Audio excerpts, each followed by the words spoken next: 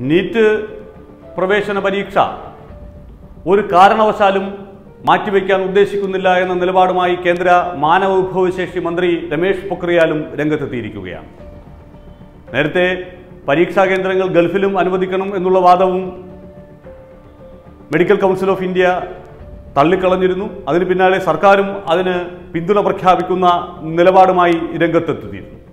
അതിന്റെ തുടർച്ചയായാണ് രാജ്യവ്യാപകമായി പരീക്ഷ മാറ്റിവെക്കണം എന്നുള്ള ക്യാമ്പയിനുകൾ സജീവമാകുന്നതിനിടയിൽ കേന്ദ്ര മാനവ വിഭവശേഷി വകുപ്പ് മന്ത്രി തന്നെ അത്തരമൊരു തീരുമാനത്തിലേക്ക് ഒരു കാരണവശാലും ഞങ്ങൾ പോകില്ല എന്ന നിലപാടുമായി എത്തുന്നത്. എന്തുകൊണ്ടാണ് പരീക്ഷ മാറ്റിവെക്കണം എന്നുള്ള ആവശ്യം വരുന്നത് എന്തായാലും ഇപ്പോൾ നമ്മുടെ അധ്യയന വർഷം എപ്പോൾ ആരംഭിക്കും എന്നുള്ളതിനെക്കുറിച്ച് യാതൊരു തിട്ടവുമില്ല. വിദ്യാഭ്യാസ സ്ഥാപനങ്ങൾ തുറക്കുന്നതിനെക്കുറിച്ച് ഒരു ധാരണയുമായിട്ടില്ല. അതിനിടയിൽ തിരക്ക് പിടിച്ച് ഈ പ്രവേശന പരീക്ഷ നടത്തി അഡ്മിഷൻ നടപടികളിലേക്ക് കടക്കേണ്ടതുണ്ടോ എന്നുള്ള ചോദ്യം ഉയരുന്നുണ്ട്. സീറോ അക്കോഡ് അക്കാഡമിക് ഇയറായി ഈ വർഷത്തെ കണക്കാക്കുന്നതിന് വേണ്ടിയിട്ടുള്ള നടപടികൾ പലയിടങ്ങളിലും പുരോഗമിക്കുന്നുണ്ട്. ആ തരത്തിലുള്ള ചർച്ചകൾ മാനവവിഭവശേഷി മന്ത്രാലയം നടത്തുന്നുണ്ട്.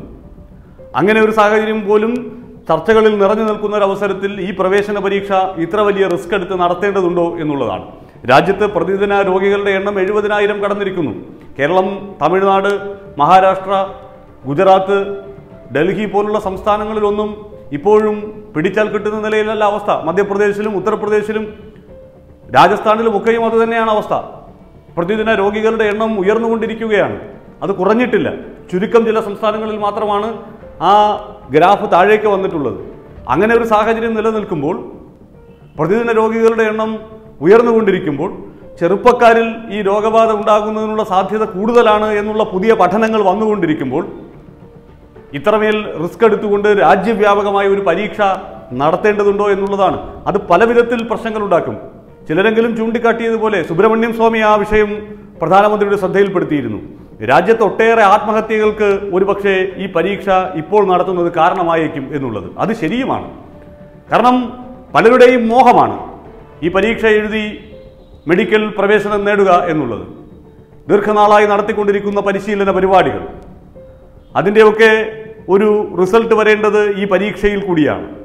ആ പരീക്ഷ എന്തെങ്കിലും കാരണവശാൽ ഇപ്പോൾ ക്വാറന്റൈനിലായി പോകുന്ന ഒരു സ്ഥിതിയൊക്കെ ഉണ്ടായി എഴുതാൻ കഴിയാതെ വന്നാൽ അവർക്കുണ്ടാകുന്ന മാനസിക വ്യഥ പറഞ്ഞറിയിക്കാൻ കഴിയാത്തതാണ് എന്ന് സുബ്രഹ്മണ്യ സ്വാമി പറഞ്ഞിരുന്നു. അത് നൂറ് ശതമാനം ശരിയാണ്.